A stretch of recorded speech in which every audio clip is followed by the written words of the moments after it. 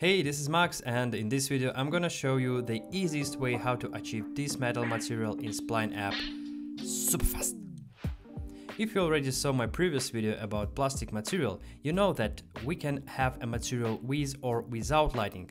So for metal material today we'll go without light sources. So delete all default objects and let's change the background color to the gray like this this grey will look stylish with our metal material. Let's add a model.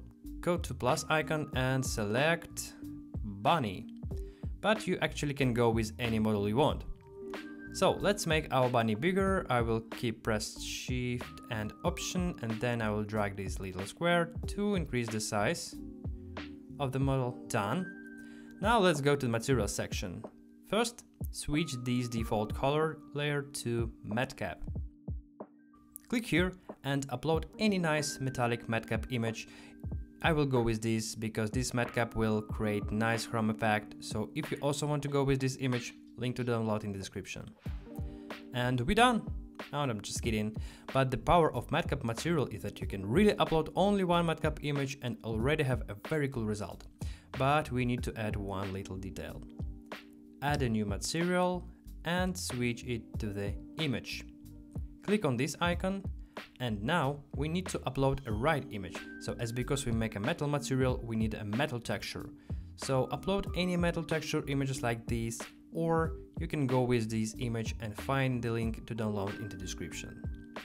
So after we upload this image, we need to adjust it to have a nice texture. So first let's scale it down. So here put for scale 0.2, 0.2 and be sure that in wrapping we have mirror. If you don't see your texture on your model, try to switch projection type. Okay, now let's hide this layer and click on lightning icon here and for bump map, select our image. Now we see how our texture applies on a model surface, but it looks too sharp.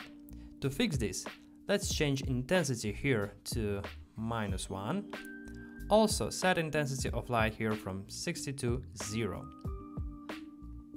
I strongly recommend you to experiment with different images for matcap and for metal texture to achieve your own unique metal material. We can finish here, but I want to show you a few tricks to make this material looks much more interesting. Go back to material section and add a new material. Select rainbow. Now click on this icon and set frequency to 5 and movement to 6, then switch blending mode to overlay. Now our model looks much more shiny. And the final touch, unselect our model and here in the project panel, turn on effects.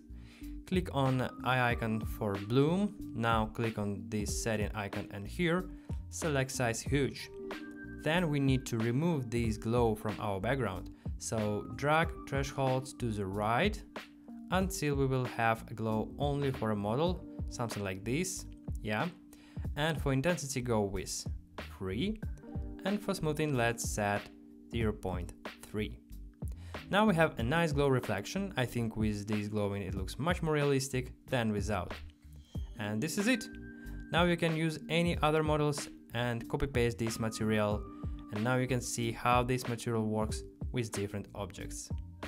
Like this video if it was helpful, ask me any questions, subscribe me and find all important links in the description and thanks for watching.